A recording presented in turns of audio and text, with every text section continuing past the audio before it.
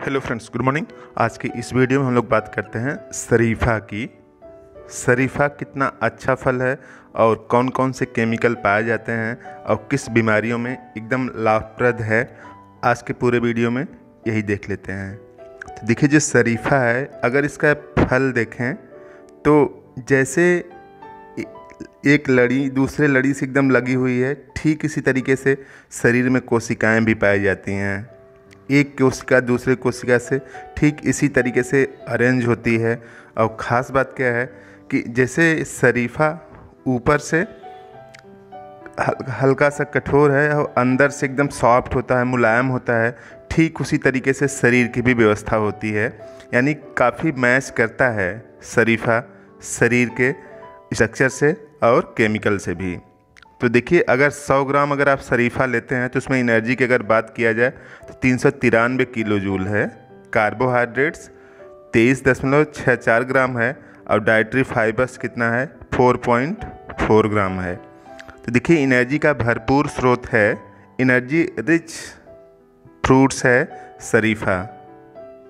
तो इसको आप सुबह यूज़ करें, खाली पेट यूज़ करें। कोई भी फल का तरीका ये है कि आप खाली पेट खाएँ तो ज़्यादा अच्छे से काम करता है, ना? फैट की अगर बात किया जाए तो पॉइंट टू नाइन ग्राम है और प्रोटीन कितना है? Two point zero six gram है। तो जो शरीफा है, इसको आप सुबह से लेकर के बारह तीन बजे तक यूज़ कर सकते हैं। दिन में ही यूज़ करें, शाम को यूज़ ना करें, सोते समय यूज़ ना करें और खाली पेट खाएँ। किसी भी फ्रूट्स खाने का यही तरीका होता है कि आप उसको अगर खाली पेट यूज़ करेंगे तो उसके फ़ूड सप्लीमेंट आपको बहुत अच्छे से मिलेंगे। तो इस तरह से शरीफा के अंदर बहुत काम के केमिकल्स हैं। और विटामिन की बात किया जाए तो देखिए vitamin B one point one one milligram riboflavin point one one three milligram और niacin point eight eight three milligram तो विटामिन भी कब प्रचुर मात्रा में है इसमें? और मिनरल्स भी। तो मिनरल और जो विटामिन जिन जिन विटामिन की शरीर को ज़रूरत पड़ती है, वो सभी विटामिन हैं शरीफा के अंदर। ना? तो इसको आप रेगुलर यूज़ करें। जब भी मिल रहा है, तब आप इसको यूज़ करें। और कोई भी मौसमी फल हमेशा सेवन करते रहें। और vitamin B five point two two six milligram है, और vitamin B six point two milligram है, और फोलेट फोर्टीन माइक्रोग्राम है vitamin C point zero eight milligram है। तो इस तरह से ये जो शरीफा है इसका यूज़ किन किन बीमारियों में किया जा सकता है? आगे की स्लाइड्स में है। तो देखिए, जो शरीफा है, उसको जो अंदर का जो सीड है ना, उसको ना खाएँ। सीड के अलावा भी जो भी गूदा वाला पोर्सन है, उसको खा जाएँ। तो देखिए, जो कैल्शियम है 24 मिलीग्राम है, आयरन पॉइंट सिक्स मिलीग्राम है और मैग्नीशियम 21 मिलीग्राम है, जबकि मैग्नीस कितना है? पॉइंट फोर टू मिलीग्राम है।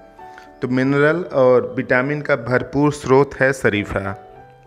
आपकी कई बीमारियों से आपको निजात दिलाएगा और स्वस्थ बनाएगा। तो आप इस तरह से इसके केमिकल्स हैं और देखिए इसके अंदर अगर आप सीड को निगल जाते हैं तो कोई दिक्कत नहीं होगी, घबराने की कोई बात नहीं है, कुछ विशेष नहीं होगा। पास हो जाएगा स्टूल के साथ, ना? फास्फोरस की अगर बात किया जाए तो 32 मिलीग्राम है और पोटेशियम दो सौ सैंतालीस मिलीग्राम है और सोडियम 9 मिलीग्राम है। तो इस तरह से देखा जाए तो जिंक की अगर मात्रा देखा जाए तो पॉइंट वन मिलीग्राम है। तो देखिए, जिंक भी है, सोडियम है, पोटेशियम है, फास्फोरस है। तो कई काम के मिनरल्स हैं जो कि शरीर की व्यवस्था को दुरुस्त करेंगे। तो आप इसका यूज़ ज़रूर करें और नॉर्मली होता क्या है कि अगर यही सब मेडिसिनल कंपोनेंट अगर कैप्सूल के फार्म में आ जाए पैक्ड आ जाए तो उसको बहुत आसानी से यूज़ करते हैं। लेकिन नेचुरल तरीके से लोग कम ध्यान देते हैं। तो देखिए, शरीफा पोटेशियम और मैग्नीशियम का एक अच्छा स्रोत होता है, जो ब्लड प्रेशर को कंट्रोल में रखता है। जिन लोगों का ब्लड प्रेशर घटता बढ़ता रहता है, उन्हें शरीफा ज़रूर खाना चाहिए। तो देखिए पोटेशियम और मैग्नीशियम जो ब्लड प्रेशर है ना, उसको कंट्रोल में करते रहते हैं।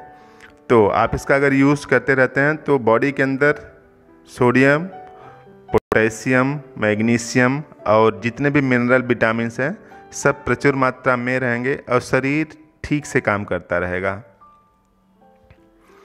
और पाचन शक्ति बढ़ाने की अगर बात किया जाए तो शरीफा में कापर और फाइबर होता है, जो पाचन शक्ति बढ़ाने के साथ ही कब्ज से निजात दिलाता है। धूप में सुखाए हुए शरीफे को पीसकर इसका पाउडर बनाकर पानी के साथ लेने से डायरिया से आराम मिलता है और डायरिया ठीक हो जाती है। क्योंकि डायरिया में बेसिकली जो भी मिनरल्स हैं लॉस हो जाते हैं तो इसको खाने से पूरे मिनरल की भरपाई हो जाएगी। और जो इंटेस्टाइन में जो क्रैम्पिंग आती है, जो मरोड़ आती है, वो सब भी नहीं होगा। तो प्रेगनेंसी के समय शरीफा खाने से भ्रूण होने वाले बच्चे का या भ्रूण का दिमाग नर्वस सिस्टम और इम्यून सिस्टम मज़बूत होता है। इसके अलावा इसके सेवन से मिस कैरेज होने की संभावना भी खत्म हो जाती है। यानी जिनको तीसरे महीने, पाँचवें महीने में मिस कैरियज हो जाता है, उनको भी प्रेगनेंसी के समय शरीफा खाना चाहिए। बच्चा जो है तेजवान होगा, तेजस्वी होगा और मिस कैरेज की संभावना नहीं होगी। तो इस तरह से प्रेगनेंसी के दौरान आप इसका यूज़ करें और किसी भी तरीके से आप यूज़ करें। एकदम स्वस्थ हैं आप तो भी यूज़ करें, क्योंकि स्वस्थ रहने से अगर इम्यूनिटी स्ट्रांग रहेगी तो फर्दर दूसरी बीमारियाँ जो शरीर में आके जनरेट होती हैं, वो सब नहीं होंगी। तो इस तरह से उससे निजात मिल सकती है। तो अगर आप स्वस्थ नहीं हैं, स्वस्थ नहीं हैं तो भी यूज़ करें। और अगर आप स्वस्थ हैं तो बहुत अच्छी बात है, तब भी इसका यूज़ करें। तो इस तरह से शरीफे के अंदर काम के केमिकल्स हैं, जो कि आपको वज़न भी बढ़ाने के लिए फ़ायदेमंद होता है। तो शरीफा उन लोगों के लिए फ़ायदेमंद है जो वज़न बढ़ाने के इच्छुक हैं। नियमित रूप से शरीफा में शहद मिलाकर इसका सेवन करने से वज़न बढ़ाने में मदद मिलती है। यानी जिनका नॉर्मल वज़न नहीं है, हाइट से कम वज़न है, वो लोग शरीफे का यूज़ ज़रूर करें। तो वज़न बढ़ाने के लिए है, यानी जिनका वज़न ज़्यादा है, वो लोग शरीफे का वज़न शरीफे को न खाएँ अदरवाइज़ वज़न और बढ़ेगा। तो और बढ़ेगा तो दिक्कतें और बढ़ेंगी। तो इस तरह से जिनका वज़न कम है, वो लोग तो यूज़ करें, लेकिन जिनका ज़्यादा है, वो लोग ना यूज़ करें। शरीफा में विटामिन बी सिक्स होता है, जो रोगियों को अस्थमा के अटैक से बचाता है। इसमें ब्रोकाइल इन्फ्लेमेशन ब्रोंकियल इन्फ्लेमेशन से बचाने का गुण होता है, और इसमें मौजूद मैग्नीशियम हार्ट कार्डियक अटैक से बचाए रखता है। तो इसका जो मैग्नीशियम है हार्ट को कार्डियक अटैक से बचाता है। तो मैग्नीशियम काफ़ी काम का केमिकल्स होता है। तो इस तरह से आप ने पूरा वीडियो देखा। तो जानकारी अगर अच्छी लगी तो इस चैनल को ज़रूर सब्सक्राइब कर दें, ताकि नया वीडियो आपको मिलता रहे और नेचुरल तरीके से बीमारियों को ठीक करने की जानकारी बढ़ती रहे। तो शरीफे में विटामिन ए प्रचुर मात्रा में होता है, जो त्वचा को स्वस्थ रखने में मददगार है। इसके अलावा यह बालों के लिए भी फ़ायदेमंद है। यह त्वचा पर आने वाले एजिंग के निशानों से भी बचाता है। तो एजिंग को भी स्लो करता है शरीफा। तो स्किन के लिए, डाइजेशन के